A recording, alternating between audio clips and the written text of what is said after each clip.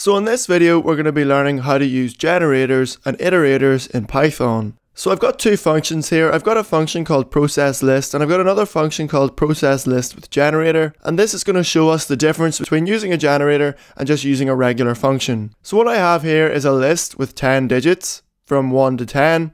And process list, all it does is it multiplies every item in the list by 2. And down here, all we do is we print out the lists. So if I run this, this is the first list, and this is the list after we've done our processing. And if we look at the code, it's really simple. It's just a for loop where we multiply every element in the list by 2 and then we return the entire list. A generator lets us use Python's special yield keyword. So here's how we print out the regular list. We iterate through every item in the list.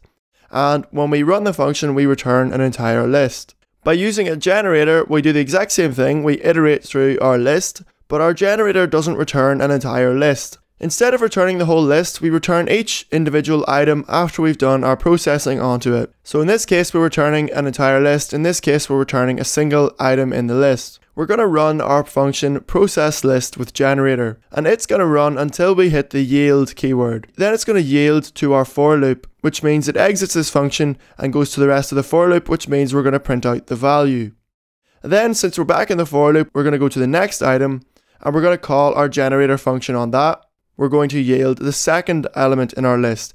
And then we're going to go back to the for loop, print it out, run the for loop again, print the third value, and we're going to keep going the whole way through the list. So you're probably wondering what's the difference between returning the whole list and just iterating over it versus this method where we return each item one at a time from the list. There are two main advantages. The first one is that our generator function looks a lot tidier because instead of having a separate return down here, we can replace those two lines with just our yield keyword, which makes our function a lot tidier. But the biggest reason for using generators is because if we had a massive list, say we had a million elements in our list or even more than that, the first function is going to return the entire list with a million elements, which means that whole list has to be stored in memory just so that we can iterate through it down here. But using a generator, we don't have to return the entire list, we just return each element as it's needed. Whenever we need the element, we're going to return it, but then after we're finished with it, the computer can just get rid of that and it can free that memory up for the rest of the program. So it's much more memory efficient